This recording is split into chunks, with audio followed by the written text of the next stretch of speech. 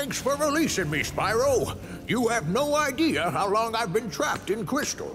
And, uh, neither do I. Who are you again? Um, I'm out of here.